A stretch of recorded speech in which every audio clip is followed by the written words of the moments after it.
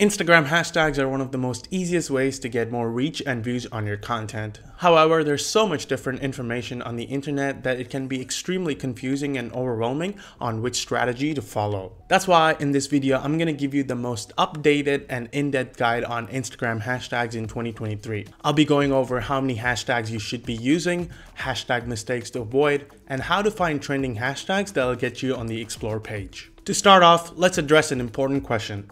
Are hashtags still relevant in 2023? And the answer is absolutely yes. Hashtags are not just a great way to get on the Explore page, but it can also increase brand awareness for your business. Nike during the pandemic lockdown used the hashtag play inside to encourage its customers to use that hashtag and publish videos of them working out. This got over 70,000 posts and it was great for brand awareness. Hashtags are also a great way to show your support to social issues. For example, the K-pop band BTS posted this on Twitter and used the hashtag StopAsianHate. It has over 2.3 million likes and is one of the most liked posts in 2021. And finally, if you're an e-commerce brand and you're trying to sell more products, using user-generated content or UGC is a great way to improve brand awareness. Here's a great example by Goldie and it can be as simple as tagging someone on your product. Now let's talk about the number of hashtags you should be using in your content. To better understand the hashtags in 2023, it's important to know the history of Instagram and hashtags. Instagram allows users to have up to 30 hashtags on their posts. When Instagram was new, it encouraged users to use as many hashtags as possible. I mean, it makes sense, right? The more hashtags and keywords you use in your content, the better the chances of it going viral and getting more reach. However, with the rise of TikTok and video content in 2020, and the TikTok algorithm clearly only using three hashtags, Instagram pivoted their strategy. In fact, the Instagram creators page went out and made a post saying that they want users to have no more than three to five hashtags in their posts. This is also proven true by an experiment done by Hootsuite. They took over 20 Instagram posts with similar content and niche, and in 10 of them, they only used 3 to 5 hashtags, and in the other 10, they used up to 30 hashtags. The ones with 3 to 5 hashtags got 14% more views. Now talking about mistakes, let's go over some of the most common Instagram hashtag mistakes that content creators make. Hashtag mistake number 1 is using only popular or generic hashtags. This is hands down the most easiest common mistake that content creators make. In theory, it makes sense, right? You want to be using the most popular hashtags because they get the most exposure. However, in the long term, these hashtags won't get the results that you're looking for. Sure, hashtags like love and beautiful get millions of posts every single day, but these are going to be useless for your business or your brand.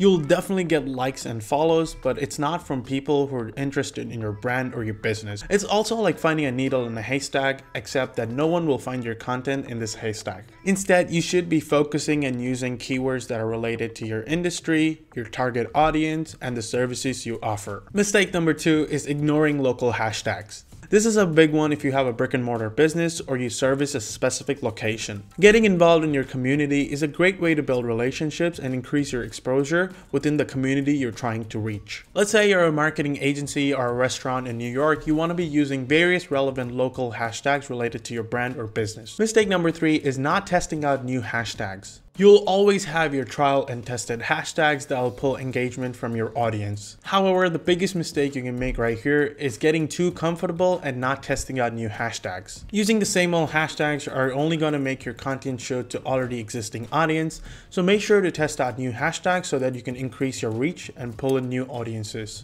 And the final mistake is not researching your hashtags. And this is exactly what I'll be covering in the next section, so I'll take you to my phone and show you how it's done. Before we dive into finding trending hashtags, it's important to know that not all hashtags are equal. In total, there are about five different types of hashtags as shown on the screen. They're location, branded, industry, community, and descriptive. The type of hashtags you'll be using will vary on your business and the type of content you create. You'd want to use location-based hashtags if you're based in a particular city or you target customers in a particular area. Some of the examples include hashtag New York City or hashtag I love New York City. You'd want to use branded hashtags if you run various marketing campaigns promoting a certain product. This could be hashtag Nike, Adidas, or Puma.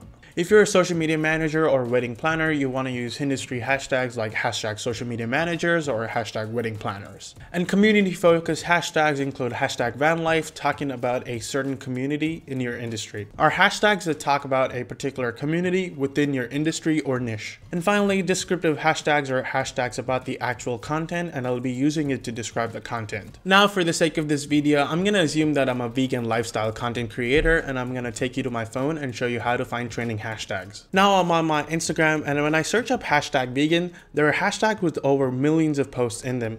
These are typically hashtags that we want to avoid. I'm ideally looking for hashtags between 10,000 and 100,000 posts.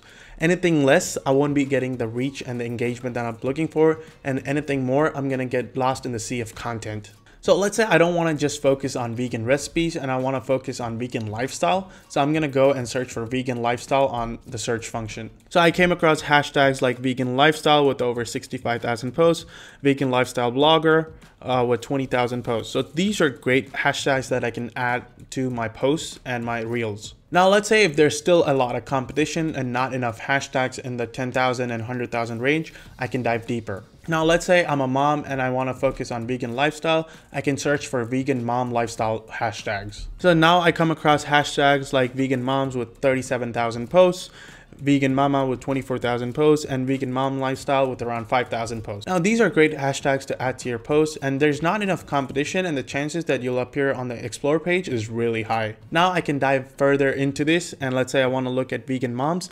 I can look at all the content or the posts that are ranking currently for vegan moms.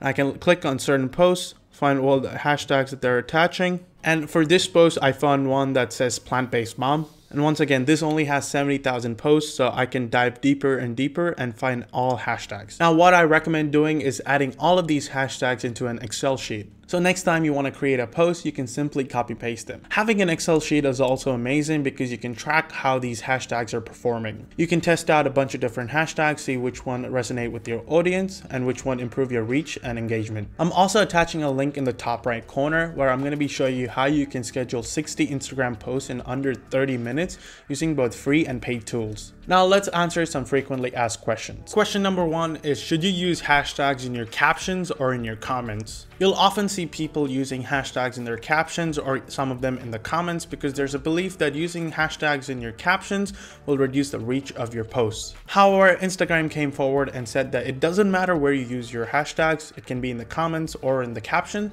and the reach will stay the same. Question number two is how can hashtags improve the likes I get on my comment? Take Sweaty Betty for example. It's a workout brand whose target audience is women with a passion for fitness. The account uses search-led hashtags like Global Running Day to get more likes on their posts, and branded hashtags like I am Sweaty Betty to foster a sense of community and togetherness. By simply targeting the right hashtags, Sweaty Betty gets over 2,500 likes per post and gets a lot of comments in the comment section. Question number three is how to save time with your Instagram hashtag strategy. As mentioned earlier, I highly recommend having 20 to 30 hashtags ready to go and saved in an Excel file, so when you're creating a post or a reel, you can simply copy paste them.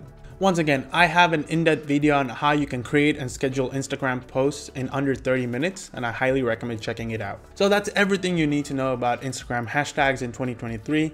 If you like this video, consider subscribing to my channel and leave a comment with any questions below.